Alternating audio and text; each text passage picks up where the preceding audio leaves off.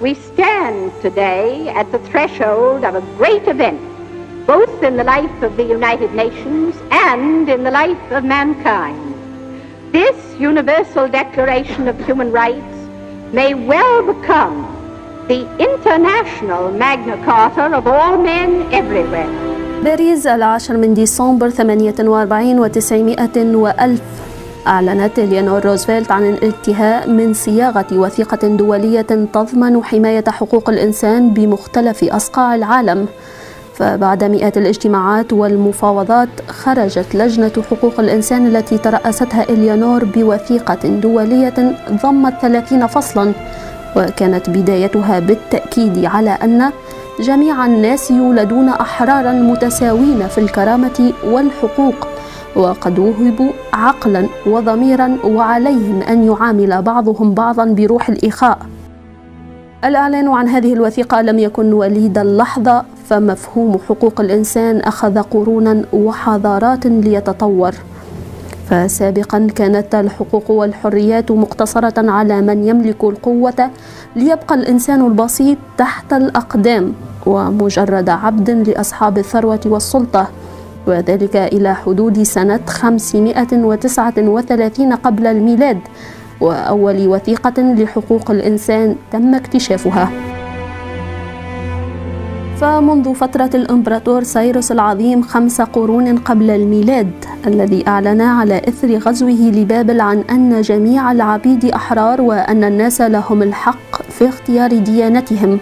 وصولا إلى اتفاقية برلين في 1855 واتفاقية بروكسل 1890 واتفاقية باريس 1904 واتفاقية لاهاي 1912 ثم اتفاقية لندن 1914 كلها أثثت لحماية حقوق الإنسان. ولكن اندلاع الحرب العالمية الأولى وبعدها الحرب العالمية الثانية أبرز ضعف هذه الاتفاقيات والمواثيق التي ذهبت أدراج الرياح وشهدت الإنسانية مجازر وانتهاكات لحرمة الإنسان وكرامته. حروب خلفت الدمار خلفها والرعب في نفوس الناس مع مقتل أكثر من 60 مليون شخصا في العديد من البلدان.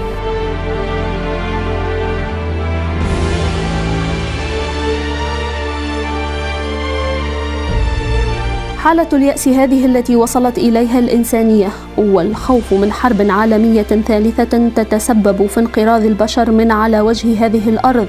دفعت الأمم المتحدة التي تأسست في سنة 45 و900 وألف بعد فوز الحلفاء في الحرب العالمية الثانية إلى العمل جاهدة من أجل ضمان السلام والعدل في العالم أجمع. فألقيت مهمة ضبط ميثاق حقوق الإنسان على لجنة خاصة تتكون من 18 عضوا وترأستها السياسية الأمريكية وزوجة الرئيس الأمريكي فرانكلين روزفلت إليانور روزفلت. هذه اللجنة واجهت العديد من الصعوبات ومفاوضات مطولة حول مفهوم حقوق الإنسان ما هي وكيف يقع ضبطها؟ ليقع في النهاية الاتفاق على أنها وببساطة الأشياء والحريات التي تملكها ويعترف لك بها لمجرد أنك إنسان وأنه لا بد من الإيمان بهذه الحقوق والحريات الأساسية وبكرامة الفرد وقدرته.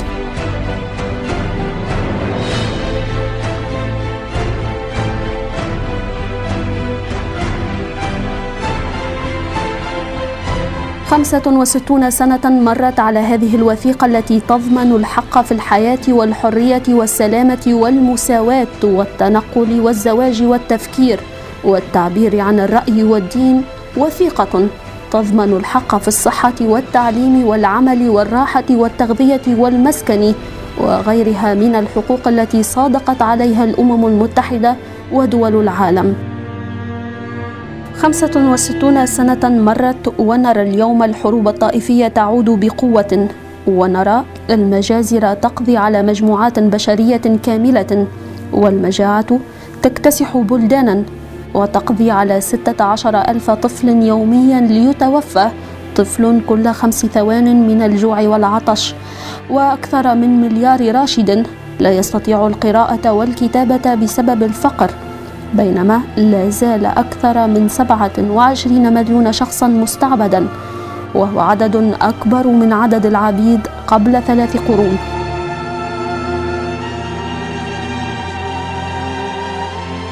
خمسة وستون سنة مرت وحقوق الإنسان لا زالت حبرا على ورق في أقطار عديدة.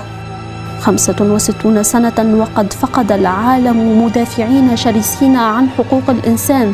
آخرهم الزعيم الإفريقي نيلسون مانديلا. سنوات وعقود مرت ولا زالت الاغتيالات من أجل الأفكار تتصدر أعمدة الصحف. سنوات مرت ولا زالت الطفولة تعاني مظاهر كالاغتصاب والفقر والأمية والمرأة تعاني العنف والإقصاء. سنوات تحتاج إلى نضال حقيقي من أجل حقوق الإنسان فعلا وعلى أرض الواقع.